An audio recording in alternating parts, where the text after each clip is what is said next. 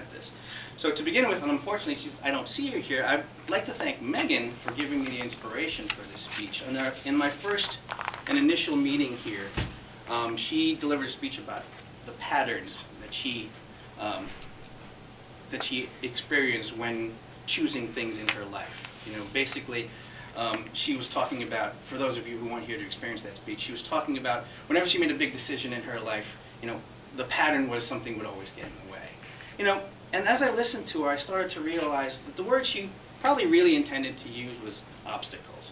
Because the patterns or obstacles she described were the many frustrations she encountered when dealing mm-hmm. with her mm-hmm. life decisions. But as I continued to listen, a word popped into my head and it kept reverberating around through my skull, and the word was choice. My interpretation of her speech led me to the choices she made when presented with these obstacles. See, I began to know this. She always chose to fight through the obstacle regardless of how the obstacle fought her. In my opinion, Megan's speech actually showcased more of her resilience than how life's obstacles work against her. So that you understand why I noticed this, you see, I've chosen to be a life transitions coach as my next major life decision. And as a coach, one of my objectives is to create synergy with my client, but also show my clients many different interpretations of how their lives have played out. It is their choice and the choices they have and which perspective to see and acknowledge. So in Megan's story, it's, it's easy to see the obstacles that impeded her progress, but you can also choose to see how she overcame them. But both are true, but one version may inspire more than the other. So unfortunately, she's not here. So I thank Megan. I had a coaching moment, and I, asked, I just had to run with it. so unfortunately, she's not here to thank. so then I began to wonder about all the choices I made that led me from New York City to Vermont, and all the different interpretations one can have. But more importantly, I was reminded about what I chose to believe, who I chose to believe, and whom I chose to ignore to attain the life that I wanted. You see, in my Filipino culture, and in my family, I was brought up to assimilate and not attract unnecessary attention to myself. I was influenced, like many, by my parents and elders to follow the most responsible path possible. Usually that meant going to college, grad school, becoming a doctor, lawyer, businessman of some sort.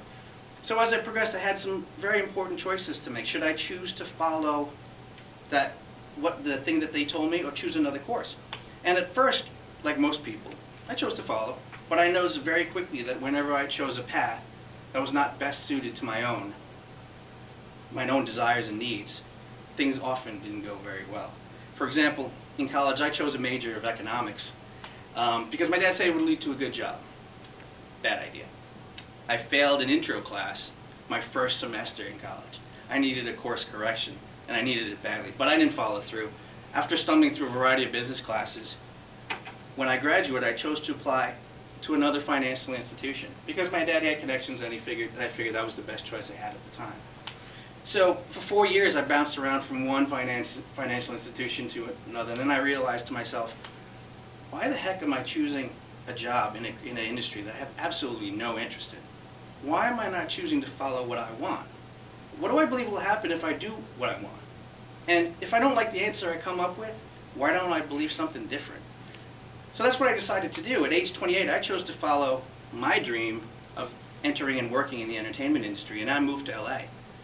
To make a long story short, that decision has led to a successful 12-year career in the television in television production. I also met my wife, and eventually I gained the approval from my father, who had no idea how well I could do in that industry. So I think his exact words were like, "So what? You want to make money in movies? Like, how are you going to do that?" And as I look back at that question, well, you see, I was able to do it. So here I am at the precipice of another major life decision. My situation is a little different. I have a wife, a son, and I'm not making a regular income now because I've chosen to develop my coaching business and slowly move away from the television industry. My instincts have told me to follow a new path. And because of the success of my first decision, I've chosen to continue to follow. So we sold the condo in Manhattan, packed up our stuff, and moved here to Vermont. We're living with my wife's family, and we're beginning to raise our infant son and save some money. I battle internally every day with whether or not I'm doing the right thing, and I feel, I always feel the unsaid words from my parents and friends, trying so hard not to criticize and just love and support us, but I can feel it. I know they're just concerned, but at this point, they know their words are futile because they know what I truly believe work, what works best for me will work better for my family. Even my wife believes that. And I can imagine There are many interpretations people may have of the choices that I've made, but the only one that truly counts, my own. So as I contemplate choosing to become part of this wonderful group of public speakers, I am confident it will improve my speaking ability, increase my self-confidence, and lead to some great relationships here in Vermont. But one thought prevails over any, any other. I hope I can choose to trust and follow this pattern my whole life. In other words, despite all the doubts and obstacles throughout my journey, I realize now that if it really just tested what I wanted and how badly I wanted it. So, thank you for your time. I'm ecstatic to make the choice to come here and be with all of you, and I look forward to making a lot of good acquaintances in, in the months to come.